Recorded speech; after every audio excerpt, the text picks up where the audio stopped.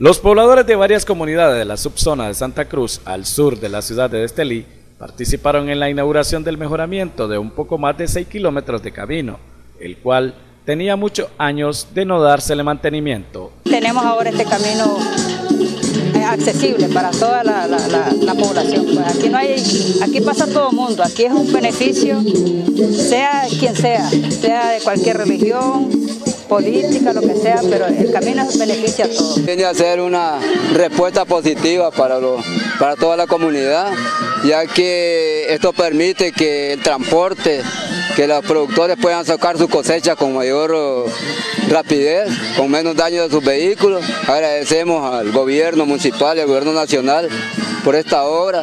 Según los pobladores, la ventaja de tener buenas estapillas rurales es porque también les sirve como una alternativa a quienes viajan al municipio vecino de San Nicolás.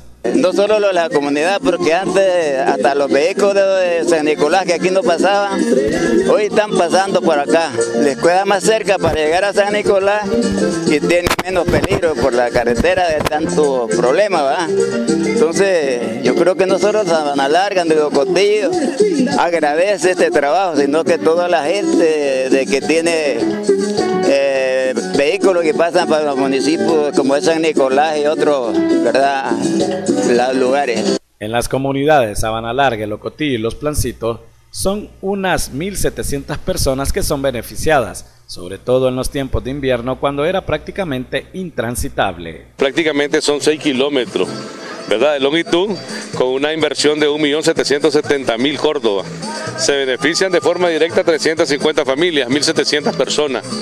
Este es parte del mejoramiento de la red vial rural del municipio de Estelí, que es bastante grande. Hemos estado trabajando en todo lo que tiene que ver la conectividad, eh, donde hemos priorizado, donde las comunidades se han organizado y han demandado su mantenimiento, pues ahora se ha ampliado la cobertura ¿verdad? de caminos en la medida que vamos, vamos abriendo caminos nuevos, después nos corresponde pues, el mantenimiento respectivo.